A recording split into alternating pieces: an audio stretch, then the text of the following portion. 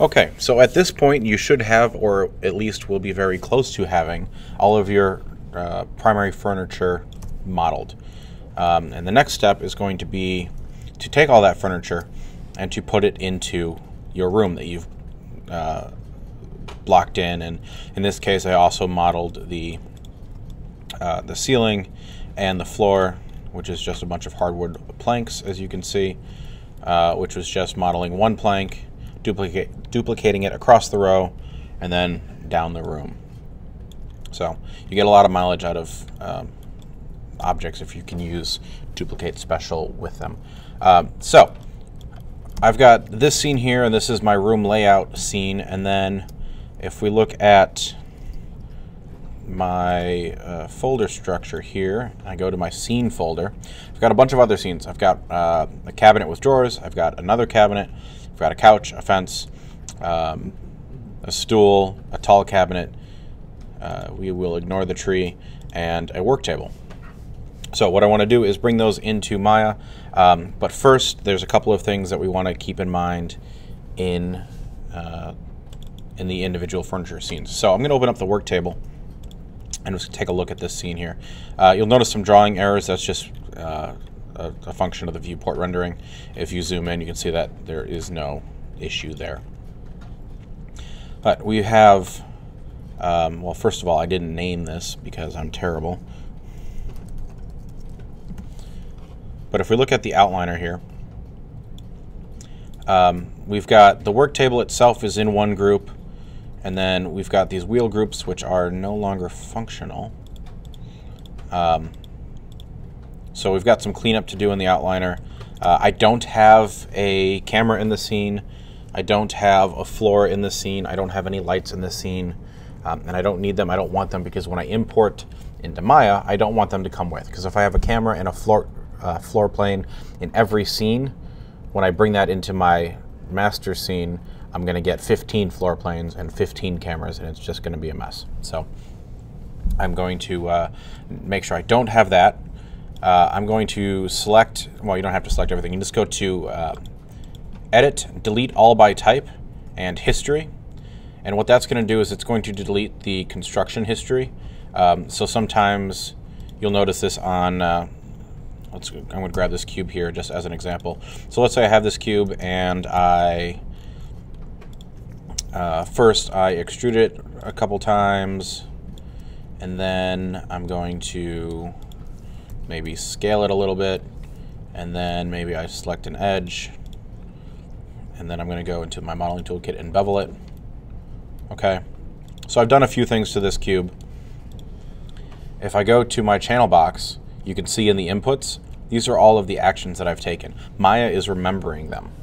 Now, you can technically go back and make some adjustments here, but if you do that, things can get super weird super quick um, because it's going to take the adjustments that you're trying to make and then it's going to apply all the other things that you've already done to it. So, generally speaking, it's not a good idea to do this. Uh, let's see. We've got pivot Z. Let's see what if we can make. Yeah, in this case, it's not even going to let me. I can try to change the divisions, and then I get this weird geometry, okay, which is obviously not desirable. So but that is that Maya is remembering all of these actions and is technically making them still editable. So what you want to do before you bring it into your master scene, one, make sure that you're actually done modeling, right? Um, but also, you select that object or select all the objects, um, or you can just go to delete all by type history. Uh, and there's other other things that you can delete if you want to be more specific, but we're, we're just going to go with history. You'll see all those inputs disappear. All right, and that cleans up that. Um, again, that's just edit, whoops, edit, delete all by type and history. So that's gone. You can see that none of these have any uh, input history there. I'm going to delete the cube. Then I've got these empty groups, which I don't need anymore, so I'm going to delete those. And I select my work table, and everything is there because I've grouped everything into that one kind of master group. So here's all the components to it, um, mostly but not entirely named. Uh, but you see all the individual pieces and then the overall group. So once you have all of that, then you can save the scene and you're done. So go through and make sure that all of your various pieces of furniture, all those individual scenes, are nice and clean that way. And then you can go back to your, uh, oops, recent files, there it is. Then you can go back to your master room scene. Uh, at this point, it could be a good idea to uh, save a new version of your uh, room. So we'll call this, um,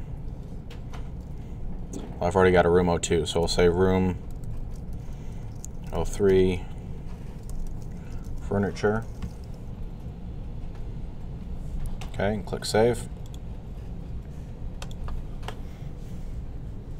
Okay, so now, uh, oh, I didn't save my other version. Let's pretend that's not in here. now I've got my room now I'm ready to bring furniture in. So I will start with the work table. You go to File, Import,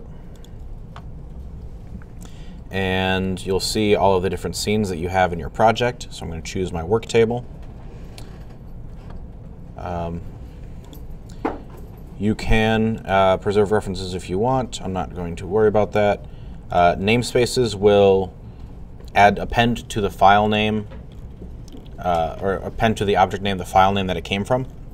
So if you need to keep things uh, straight, I'm not going to worry about that either. And I'm going to click import.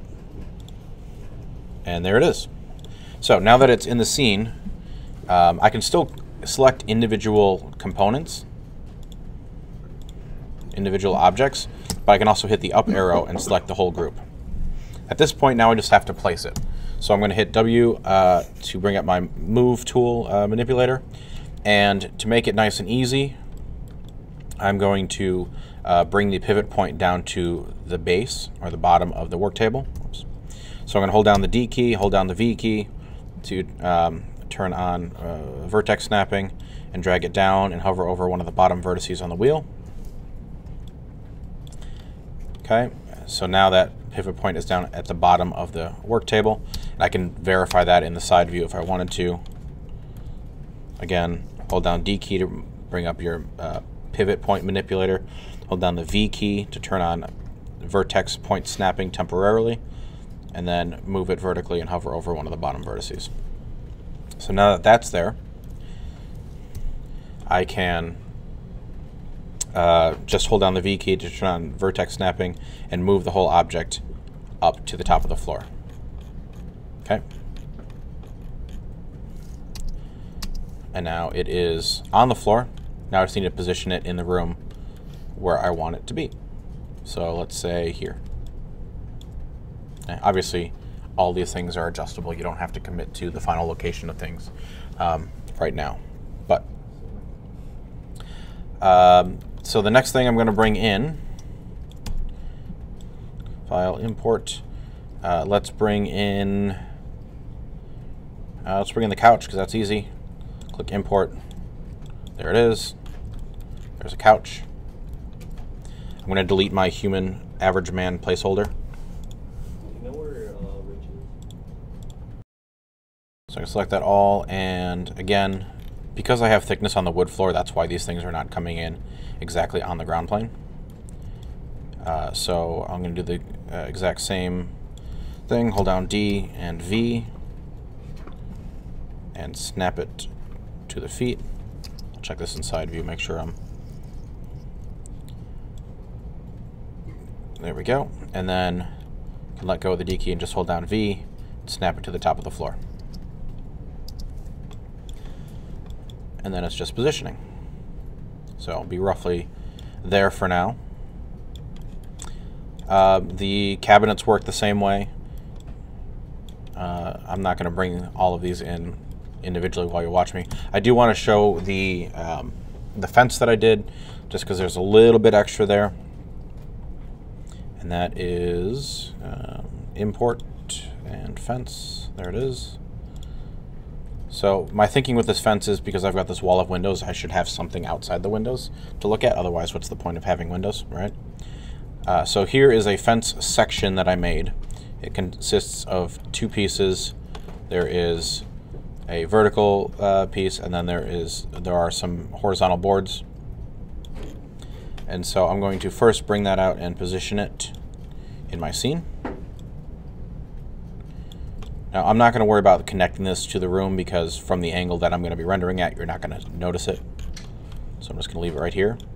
And I model this in a way, let me actually, I'll select it and isolate it so you can take a look at this.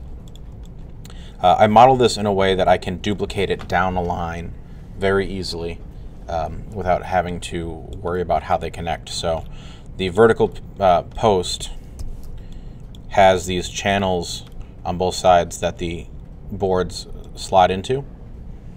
Okay, and then there's just a little simple cap, and this is modeled off a, a wood fence that I found at like on Lowe's.com. Um, I just did a search for wood fence,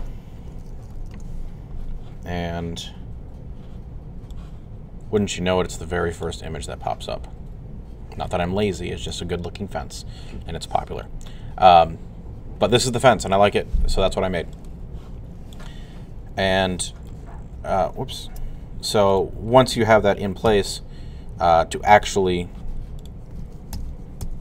place the fence, okay, I'm going to select the group, Command D to duplicate it, slide it down, and I'm going to zoom in here so that I can make sure that I'm it doesn't have to be flush up against the, the board, but just in there enough so that you can't see the end, or you can't see a gap. So once I have that placed, I can use duplicate with transform to very quickly make six or seven more copies. Uh, so you can go to edit, duplicate with transform, and that's going to copy the object or duplicate the object or the group um, and apply the same transform that I just applied. So that motion, it remembers that and it will apply it. So you can either use the menu item, you can see it, it duplicates it with that offset, or Shift D is the shortcut, which makes it very, very quick to get a nice long fence. Now, I also didn't model any corner pieces, so the fence isn't going to turn a corner. Um, or if it does, you just it won't be a clean connection because you're never going to see it. But there is the fence in place. So uh, once you get all of your furniture modeled, you can bring it all into the scene. I will save this scene and open up the one that has everything in it. And you can get a scene that looks a little bit closer to this. Okay, so I've got cabinets. I did, I'm, oops, there we go. So I modeled two different versions of the cabinet, or specifically I modeled this cabinet, then I deleted one of the doors and turned the door into a, a drawer um, and so I had two versions of the cabinet, and I brought each of them in three times. So if I turn on uh, wireframe on shaded, you can see a little bit better the scene. And so I just laid them out, duplicated them, and then I put a uh, solid countertop over all of them. Right, and then this cabinet, again, trying to save myself some work and not start from scratch on everything, was this base cabinet. I just made it a little bit taller and fancied up the doors a little bit. Uh, and then I added uh, what will be a rug and some standing mats and then some stools. Okay, nothing terribly complicated. All the all even all the geometry is fairly simple. Um, yeah, and that's how we kind of you can fill out a room rather quickly that way.